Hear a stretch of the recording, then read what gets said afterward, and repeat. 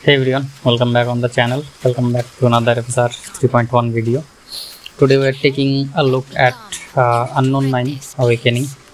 Game is a third-person action adventure type of game, as you can see on your screen.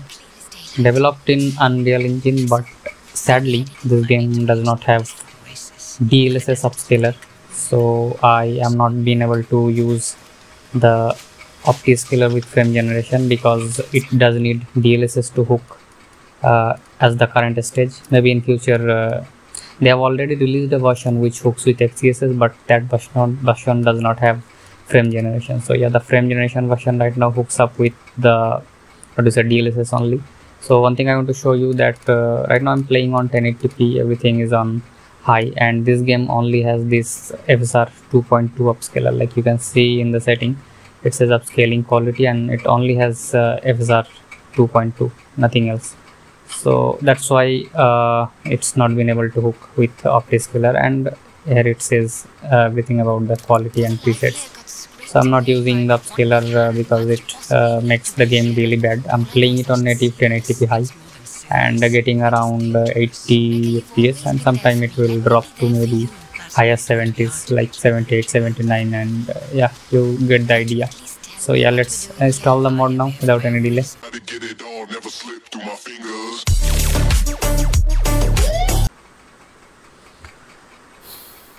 all right uh, first we will be needing this zip. This is gonna be the old mods. This is not the OptiScaler mod. So yeah you will see what i'm talking about. I will show you how to do each and every steps. So first i'm gonna open the folder after extracting the zip. Uh, i'm gonna copy everything and go to the installation directory of the game which is here for me unknown 9 awakening. After that uh, i have seen some people pasting the mods like in here after opening the main game directory installation directory. But this is not the folder where we paste the mod. We want to go inside u9 binaries win64 and where the win64 shipping.exe is located we're going to paste it here. After pasting uh, we will go inside dlss override folders and uh, we will double click on the enable signature override and click on yes and click on ok one thing you also want to make sure uh, you want to go to the search bar and type graphics. And wait graphics and uh, click on this graphics setting and make sure this HAGS or HAGS is turned on. If it's not on then you need to turn it on and restart your PC once or the frame generation won't work. So yeah. Uh, after that uh, we will do some more thing which is uh, we're gonna run this game and when the CMD window pops up we're gonna close that. So yeah we're closing it after closing uh, we will see uniscaler config.tml so we need to edit some files. This is optional. This is not mandatory. Like if you want to switch upscaler from fsr to XeSS because uh, fsr is still gives uh, giving some jagged edges and anti-aliasing. So yeah we're going to use the fsr now.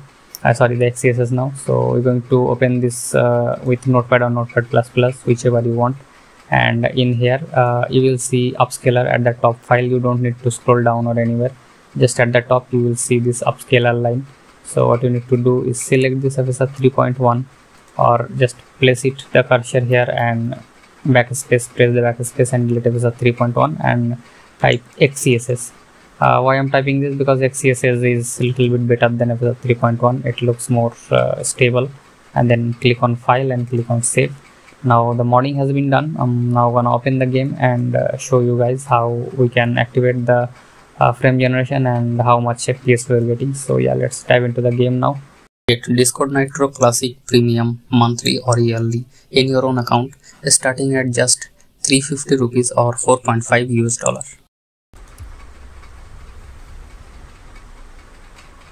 All right uh, one thing i want to show you that this game does not have any uh, loading screen. Because whenever i click on this continue button the game just like lands in the play section. So yeah this is uh, pretty cool stuff. Uh, nothing groundbreaking but yeah i like it. Like you just press continue and the game just starts playing. So yeah fps is still around the same because i have not activated the scaler from the setting. So i'm gonna go to setting then visual and scroll down here. Scroll down more and from the upscaling quality i'm gonna set it to quality.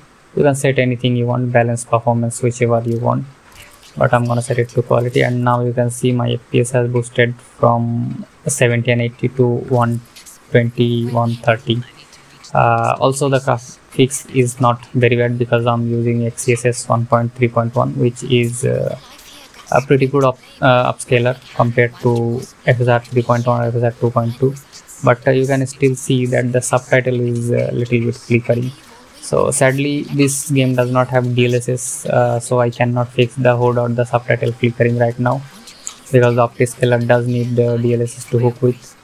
Uh, you will have to make work with this one. It's not anything game breaking like uh, yeah it's okay uh, you can see I'm moving the mouse very fast but still it's like uh, very little flickering. So yeah uh, it's nothing deal breaking so this will be it for this video. Now I'm gonna play the game maybe for one to two minutes just to show you guys how much uh, FPS I'm getting. And yeah now I'll see you guys in the next one. If this helps you do subscribe to the channel. Uh, join discord for more uh, upcoming mods and everything. And I'll see you guys in the next one. So until then bye